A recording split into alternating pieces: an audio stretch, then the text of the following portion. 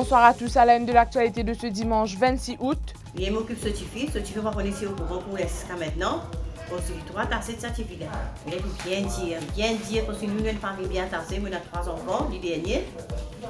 Une famille bien entassée, tout fait, tout ça, nous petits affaires, nous ensemble, tous les week-ends, nous ensemble. C'était le témoignage de Danielle Hollingsworth, la mère de Jeff Hollingsworth, un trentenaire qui a succombé ce matin après que son 4x4 a terminé sa course dans la mer à la hauteur de Blue Bay.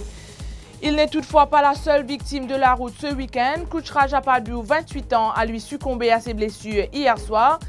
Quelques heures plus tôt, le jeune homme et un autre motocycliste avaient été retrouvés inconscients à côté de leur moto. L'état du deuxième motocycliste est jugé grave.